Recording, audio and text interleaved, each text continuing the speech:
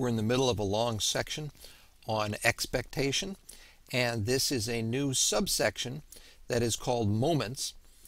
In the previous subsection, we defined the expected value of a function of a random variable.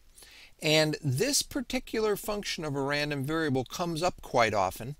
It is the expected value of x minus mu, which is the population mean squared, and it is a measure of dispersion or spread of the probability distribution of a random variable x. Now, why is it a measure of dispersion or spread?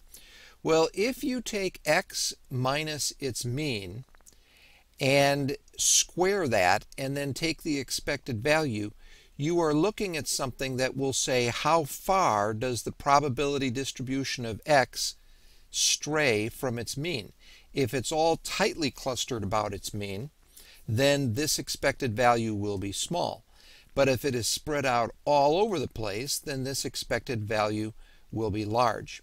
So it turns out in the definition below here, the expected value of x minus mu squared is known as the population variance of the random variable x, which has mean mu. And we have special symbols for that. One way of writing this is sigma squared. Another way is v of x.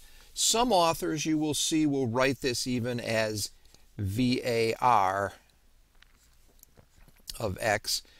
But in any case, it is well known, it is the population variance. And one last thing, I'll put the word units down here in the lower right. What will be the units of the population variance? It turns out that since you are squaring this, the, the units of x minus mu will be the same units as the random variable x, but when you square it, the units will be the square of whatever the units are of the random variable x.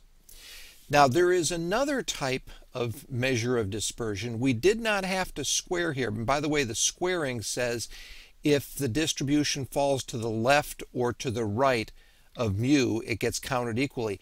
We could have put an absolute value in here instead of squaring, and that would give less weight to the tails. That has a name and it's called the mean absolute deviation but it is not as popular as the population variance.